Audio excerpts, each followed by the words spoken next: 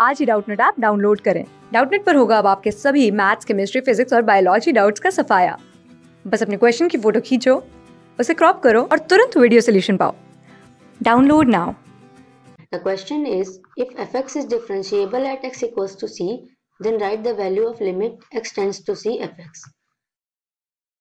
So, we have given f is differentiable at x equals to c.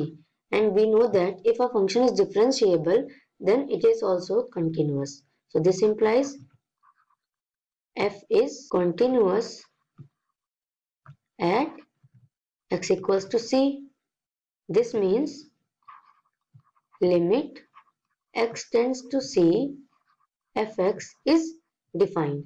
That is limit x tends to c fx is exist and here we can put the value of x equals to c in this function. So we get f of c. So this implies limit x tends to c fx is equals to fc and we are done.